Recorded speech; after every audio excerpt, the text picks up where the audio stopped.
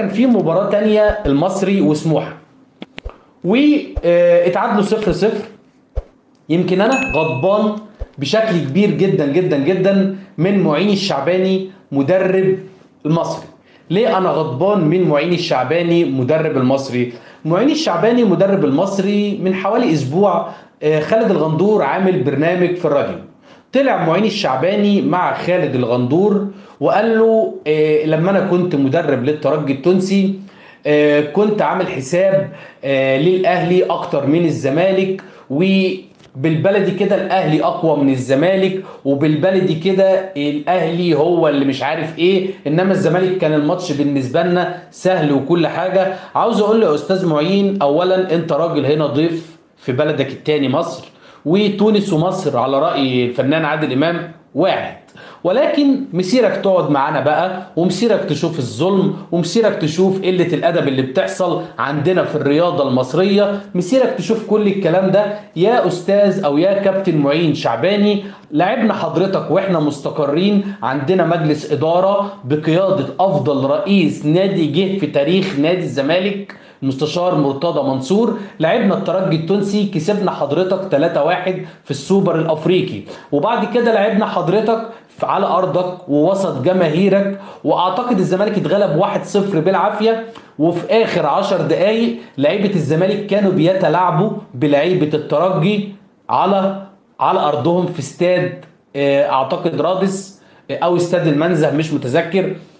آه، ولكن حضرتك لما كسبتنا ذهاب وعودة في دوري أبطال أفريقيا الماضي حضرتك كسبتني وأنا عندي لجان معينة. مسيرك تقعد في مصر وهتبدا تعرف اللي بيحصل في الزمالك. الزمالك يا كابتن معين كل اثنين وخميس بيتحللوا مجالس ادارات الزمالك كل اثنين وخميس بيتحللوا مجالس إداراته. ومسيرك تشوف الكلام ده يا كابتن معين فأنا مش هرد عليك اولا لأنك أنت راجل يعني ضيف عندنا. ثانيا أنت لسه ما تعرفش الكواليس فأنت أكيد مظلوم ومخدوع في الأهلي والجمودية بتاعت الأهلي. الكلام ده إحنا هنا حفظناه وإحنا هنا خلاص زي ما بيقولوا شربناه من كعنا. المصريين هم اللي هتلاقيهم عارفين التفاصيل. يا كابتن معين يا شعباني. آه تعالوا بقى ندخل في إيه تاني؟ تعالوا ندخل في خبر تاني. عاوز أتكلم فيه آه مع حضراتكم. وهو ان خلاص النهارده الكابتن حسين لبيب عمل اتفاق مع إحدى شركات التسويق عشان يستضيفوا نادي الزمالك في الفترة من 1 ل 9 يناير الفترة دي هتكون تصفيات كأس الأمم الأفريقية بتتلعب فالزمالك اتفق مع شركة تسويق آه، عاملة زي كده مباريات مجمعة في آه، دبي وشركة التسويق دي هتستضيف نادي الزمالك إقامة كاملة ومعسكر معسكر قوي جدا لمدة تسعة أيام. هيتخلل بقى المعسكر ده ثلاث مباريات في منتهى القوة. أولا في فريق إماراتي بيتم التجهيز ليه الزمالك هيلعبه في دبي. وكمان آه، في الإمارات سوري يعني في يعني في يعني مش في دبي تحديدا ممكن يكون في أي يعني إيه عاصمة أو محافظة تانية. إنما في فريق إماراتي الزمالك هيلاعبه وكمان الزمالك هيلاعب تبع شركة التسويق برضو آه، في المعسكر ده هيلاعب نادي أندرلخت البلجيكي وكمان الزمالك هيلاعب نادي بازل السويسري. ده كله الزمالك هيلاعبه من واحد لتسعة كارتيرون فرحان جدا بالمعسكر ده وهيستغله عشان يجهز اللعيبة اللي هم مش منضمين للمنتخب. وأعتقد التسع أيام دول هيكونوا زي الأسبوع أو العشر أيام اللي هم راحوا قعدون في برج العرب في آخر سبع مباريات في الدوري أعتقد التسع أيام دول كارتيرون هيستغلهم بشكل كويس جدا. كارتيرون من المدربين اللي بيعرف يوقف اللعيبة بدني على رجليهم كويس جدا وبيعرف يعمل شغل tactics كويس جدا. فدي حاجة الناس اللي إيه كويرة تفهم ال- المعنى ده. هيفرق معانا جدا معسكر قوي جدا جدا جدا. وبتلعب اندرلخت البلجيكي وبازل السويسري. بتلعب فرقتين من المستوى المتوسط في أوروبا. فدي حاجة كويسة جدا جدا جدا لنادي الزمالك. آه طيب. عاوز أتكلم آه في النادي الإسماعيلي. النادي الإسماعيلي ده فريق التاني في مصر. يعني هتقولي لي بتشجع مين بعد الزمالك؟ الإسماعيلي على طول. ولاد العم ولاد العم ال- كان عندهم انتخابات مجلس إدارة ونجح الأستاذ يحيى الكومي بنقول له ألف مبروك. أستاذ يحيى الكومي كان رئيس قبل كده النادي الإسماعيلي وراجل عنده الخبرات اللي هو يقدر يدير بيها نادي كبير زي نادي الإسماعيلي. وأتمنى النادي الإسماعيلي يرجع كده يقف على رجله ويبقى بعبع أندية الدوري. آه، الدراويش أو الأستاذ بقى يحيى الكومي عاوز بالبلدي كده يطفش الكابتن طلعت يوسف. ومش عاوزه يكمل على آه، يعني رأس الإدارة الفنية لنادي الإسماعيلي. عادي هو حر يجيب مدرب تاني. لا مش دي المشكلة. أنا عايز أوجه نصيحة للأستاذ يحيى الكومي. وأنا بوجه له النصيحة دي إديني رأيك في التعليقات. يمكن أنا أكون غلطان وأطلع أعتذر إن أنا غلطان. الأستاذ يحيى الكومي بيقول إيه بقى يا سيدي؟ الأستاذ يحيى الكومي بيقول إني هو عاوز يتعاقد بعد ما يمشي الكابتن طلعت يوسف عاوز يتعاقد مع أحمد حسام ميدو عشان يكون مدرب لنادي الإسماعيلي.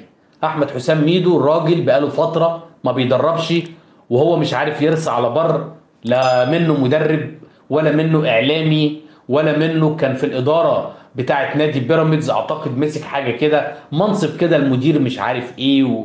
فهو مش عارف هو عاوز إيه ميدو. ميدو بتاع كله. يعني ميدو اللي هو إيه بتاع كله.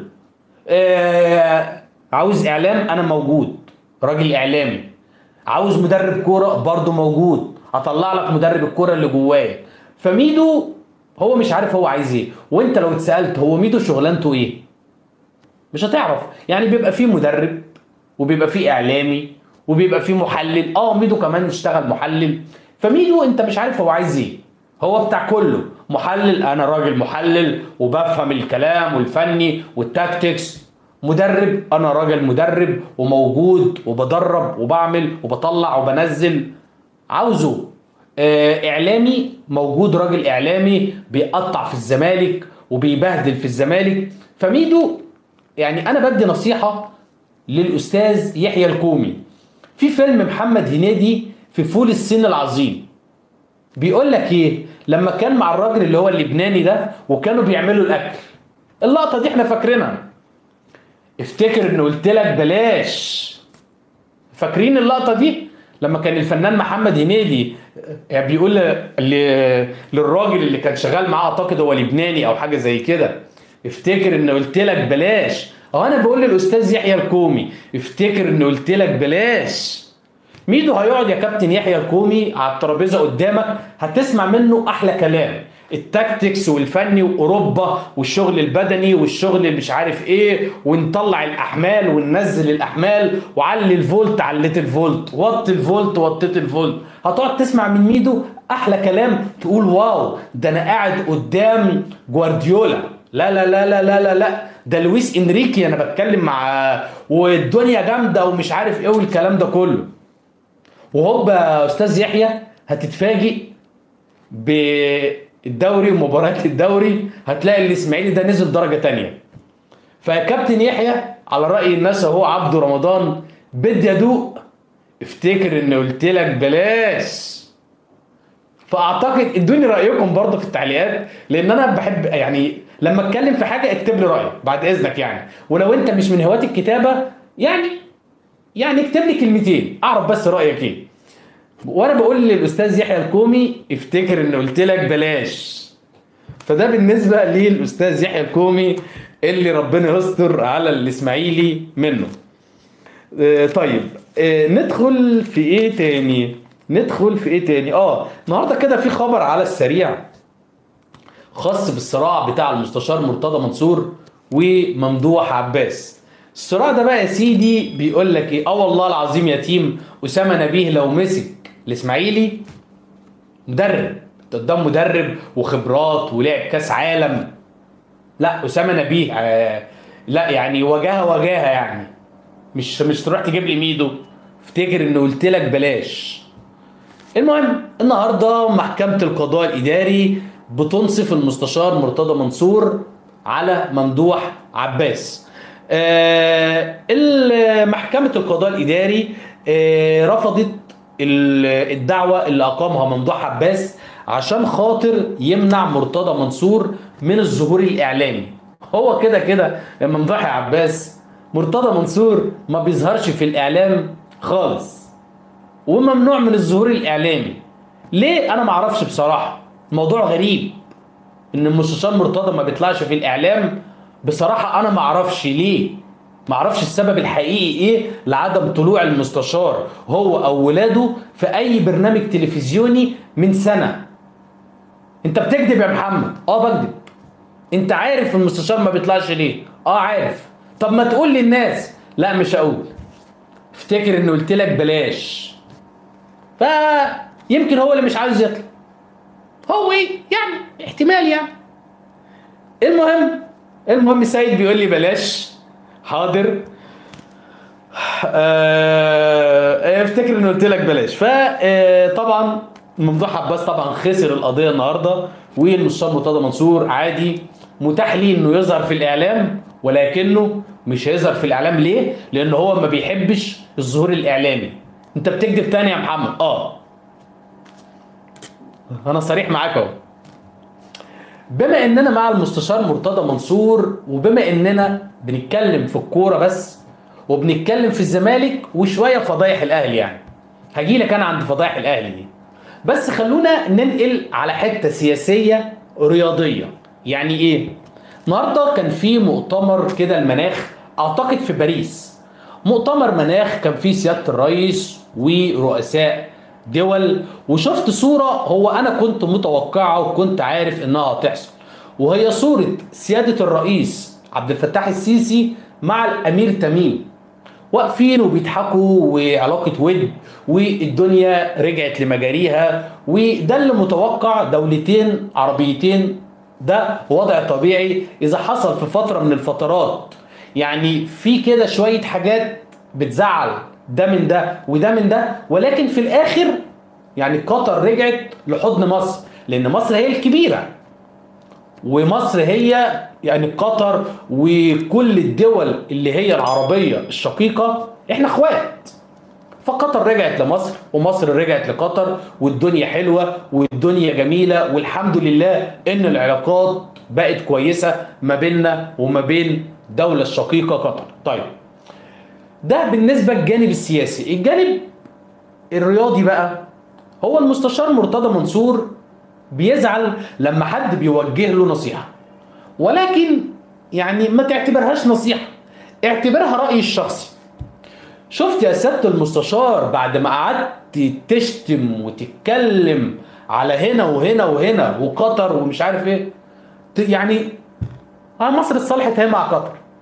وانت يا سيادة المستشار اللي دلوقتي الدنيا يعني ما كنتش تتكلم.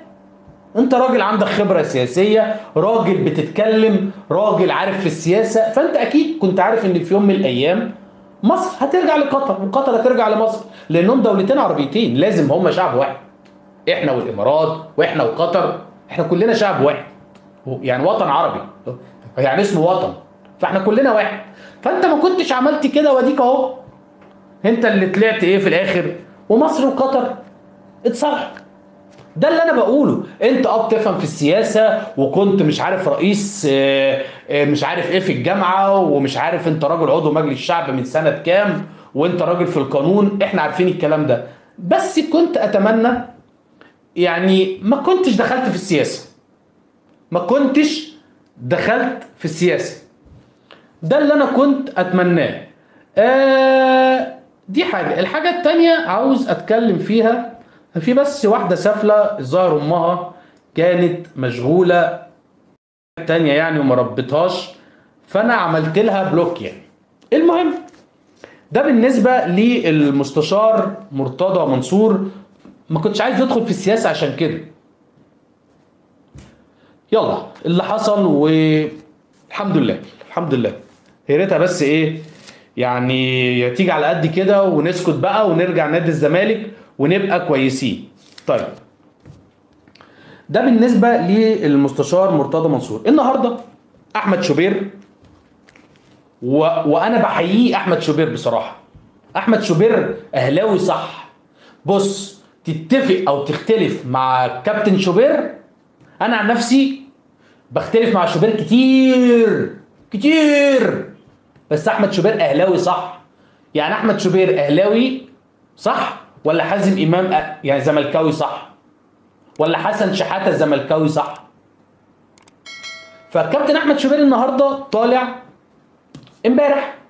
كلنا شفنا وأنا منزلها على صفحتي على الفيسبوك.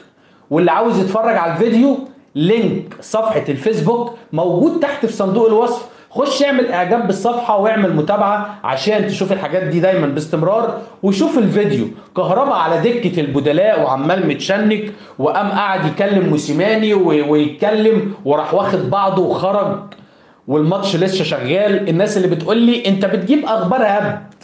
اهو جايب لك بالفيديو يا حلاوة. فالكابتن أحمد شوبير بيكدب عينينا وبيقول لك إيه بقى؟ لا توجد أزمة مطلقا بين موسيماني وكهربا الله! يا سيدي! بيفك... بيفكرني بعادل إمام. معلش أنا بحب أجيب من الأفلام لأن واقعنا هو بيجي من الأفلام. في مرجان لما كان عضو مجلس الشعب. يا جماعة! يا جماعة الفرخة حلوة أهي. لما طلعها وماتت يا جماعة بصوا العيش. يا جماعة أنتوا بس بتقولوا إيه؟ هو أحمد شوبير كده. الدنيا والعه يا جماعة! ما هو حلوين مع بعض هم كويسين. إيه الواد موسيماني والواد كهربا والاتنين بس هم ده بيحبوا بعض. ده موسيماني عنده أفضل لعيب ده كهربا في الملعب. يا جماعة بس أنتوا بتقولوا إيه؟ يا جماعة أنتوا مكبرينها شوية. وبيقول لك إيه شوبير تاني؟ بيقول لك كهربا سيشارك غدا في مباراة الأهلي الودية. فالكابتن أحمد شوبير بصراحة يعني والكلام ده بيقوله على الراديو. اللي هو اللي بيسمعه المصريين مش الأهلاوية بس. فهو راجل أهلاوي متحيز من الدرجة الأولى وأنا مش عارف ليه سايبينه لغاية دلوقتي. الراجل ده يشتغل في الإعلام المصري اللي من المفترض إن هو محايد إن هو مش محايد. الراجل ده يشتغل في قناة الأهلي هيبقى ناجح جدا شوبير. يعملوا راديو اسمه راديو الأهلي هيبقى ناجح جدا. ومتألق أحمد شوبير فيه لو عملوا له راديو الأهلي. إنما يطلع يتكلم في قناة محايدة بتتكلم للأهلاوية والزملكاوية فهو إعلامي فاشل. لأنه متحيز واهلاوي صرف وأنا مش بعيبه إنما عاوز تبقى أهلاوي يا أبو الكباتن روح قناة الأهلي. إسلام الشاطر أهو ليل نهار عمال بيهبد وبيدفع بدات. مية مية. وكل المذيعين اللي هم اللي, اللي بتلات تعريفة هناك بيهبدوا. إنما قناة الأهلي. ومطلوب منهم عشان ياخدوا المرتب مطلوب إن أنا أهبد للاهلي إنما أنت يا كابتن شوبير الراديو ده بتاع مصر. وأون تي في دي بتاعت مصر. إنما أنت بتاع الأهلي. فالكابتن شوبير غريب بصراحة يعني من كتر دفاعه على النادي الأهلي. آه، تذاكر ماتش القمة متاحة. وبدأت ناس تحجز من النهارده على موقع تذكرتي. فاللي يقدر يروح ويحجز فأكيد دي هتبقى حاجة كويسة جدا جدا جدا. بس اللي يروح يبقى رايح يشجع. عاوز تتفرج على الماتش حضرتك؟ اقعد في البيت. هات نص كيلو لب ونص كيلو سوداني وب 50 قرش ترمس. اقعد في البيت شغل التكييف واتفرج. إنما هتروح الاستاد حضرتك مطالب منك إنك ما تتفرجش. إنك تبقى واقف بتشجع ال 90 دقيقة. فلو هتروح الاستاد اعمل حسابك على كده. انما تروح الاستاد عشان تبقى قاعد تتفرج لا اللب والحمص والترمس والسوداني أعتقد هيبقوا أفيد ليك وتقعد كده تتفرج في بيتك وتشغل بقى التكييف ولا المروحة زي ما حضرتك إيه عاوز.